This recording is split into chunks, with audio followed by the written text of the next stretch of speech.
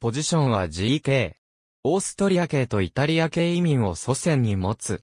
エステルスイフで選手キャリアをスタートさせると、2度のリーグ制覇に貢献し、1981年には、スウェーデン年間最優秀選手賞を受賞。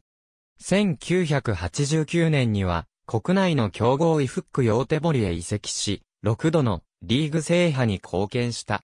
また1998年からは、アメリカメジャーリーグサッカーのタンパベイミューティニーでプレーをした。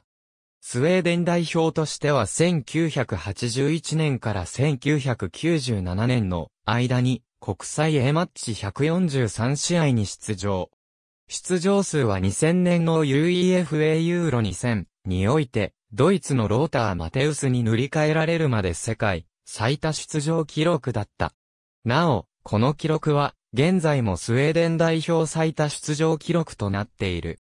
長らく、スウェーデン代表の政治系を務め、1990年の FIFA ワールドカップイタリア大会出場、1994年の FIFA ワールドカップアメリカ大会3位入賞、地元開催となった1992年の UEFA ユーロ92ベスト4進出に貢献した。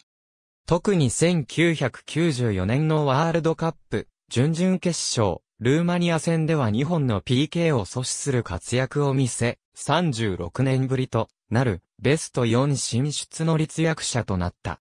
同年に国際サッカー歴史統計連盟により発表された年間最優秀 GK 賞では、ベルギーのミシェル・プロドームに次いで第2位に選ばれた。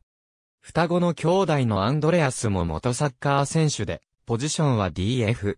スウェーデン代表として1980年から1989年の間に国際 A マッチ41試合に出場した。ありがとうございます。